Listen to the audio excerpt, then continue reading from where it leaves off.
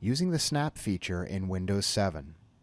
Snap is a great new way to resize open windows, simply by dragging them to the edges of your screen.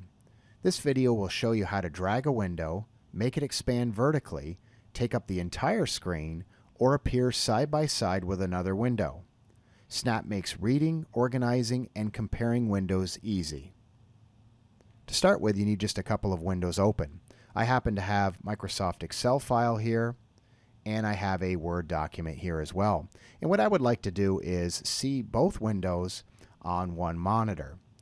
And I can do this very easily by clicking on the title of the current window that I'm looking at and left clicking and dragging down. Notice that the window restores down a little bit.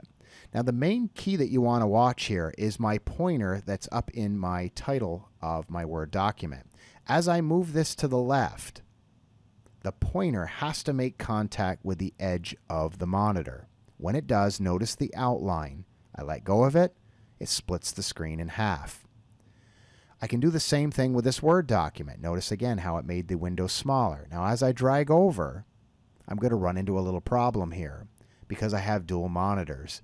And if you do have the dual monitors, what it's going to do is it's going to drag it onto the, the second monitor. There is a keyboard shortcut that will allow you to snap this window on the right side of this monitor and not drag it over onto the other monitor. So if you do have dual monitors, this is what you need to do. In the lower left of your keyboard is a Windows key. It looks like a little flag, and it's called the Windows key. If I click on the window that I would like to either snap to the right, or snap it to the left, make it full size, or restore it down, I would use the Windows key and whatever arrow direction that I would like it to go in. So if I hold the Windows key down and use the right arrow, it snaps it to the right part of my screen. If I use the Windows key and the up arrow, it makes it a full size window. Windows down restores it down, and Windows left will snap it to the left of my screen.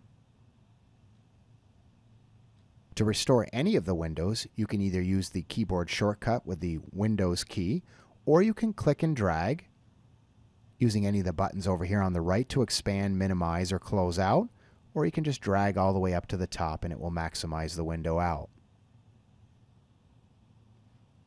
And that is using the snap feature in Windows 7.